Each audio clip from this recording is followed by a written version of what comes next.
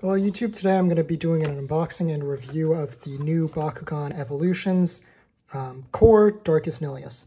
Um, this is just the standard core, it's not a um, platinum or anything, it's, you can just see it's Nillious. Um, yeah, you can see the package is pretty cool, has Nillious up there.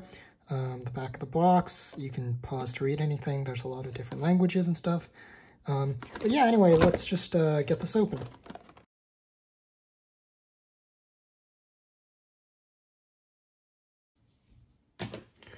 All right, so here we have the, you can see what's included, the two Baku cores, a gate card, character card, the Nillious Bakugan, and a little collection pamphlet.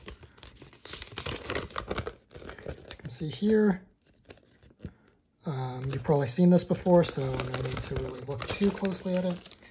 Um, anyway, let's just get into it. Um, so here's Nillious.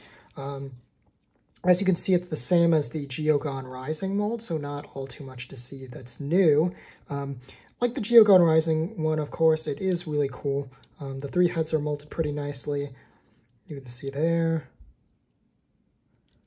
It all looks pretty nice. Um, each of the heads, unlike certain Bakugan, like um, I think it was Howlkor, some of the Howlkor versions, they didn't have the heads molded entirely. Here you can see they're all three heads are molded on both sides. Looks pretty nice. Um, you can see the feet drop down. Uh, the arms are right there. Uh, there's silver paint here. And then you can see the eye, the claw, the B power, and these bits on the wings are kind of this interesting sort of almost greenish. It's a little hard to describe. Uh, let's see, I'll change the light a little bit. Yeah, it it's it's slightly green, but it's like white. It almost looks like a glow in the dark, but it's not a glow in the dark.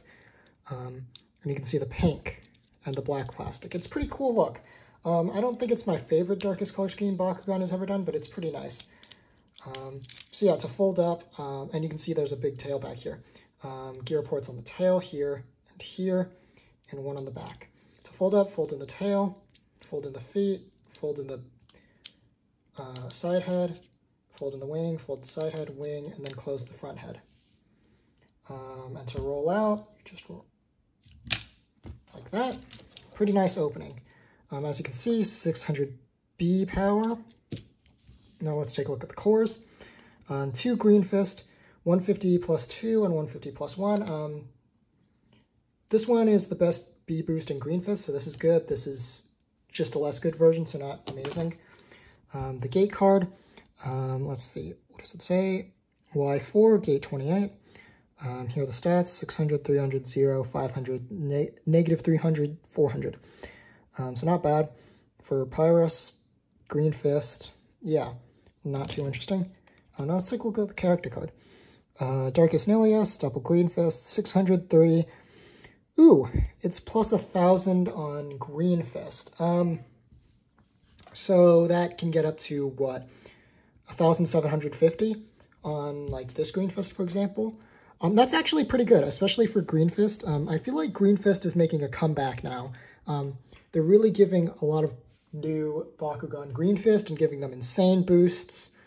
Um, so I actually quite think this is, I think this is quite good, especially for Green Fist decks. Um, with all the core subtracting and core swapping and all that with the new stuff, um, it's definitely harder to stick to your core, but Green Fist is one of the easiest ones to stick to because if you also run Chaos, you can use abilities that I think are one cost that are pretty common from even year one that give you a Green Fist. So even if your opponent takes away your core, you can just grab another Green Fist from the field for like one energy. Pretty great. Um, overall, what I think of Darkus Nillious, I think the toy is pretty cool. Um, what's interesting is the plastic is like a charcoal gray. It's not like straight black. Um, like here's a different core Bakugan from even the same year. You can see it's the same color scheme, but it's interesting that this is charcoal black or charcoal gray and this is black. You can see that difference. Or even like compared to the older color scheme, you can see it's definitely not black. Sorry, this one's a little dusty. Um, you can definitely see the plastic is a lot lighter. Um, so that's interesting, but I, I, don't like that as much as the pitch black. I, I wish this was pitch black, but other than that, the toy's pretty cool. Um, and for the game, Nillious might actually be pretty viable. I don't know. I think he's pretty good. Um, so yeah, I do recommend this for collectors and maybe even game players. Um, but yeah, anyway, let me know what you think in the comments below. Um, feel free to like and subscribe, and I'll see you in the next video.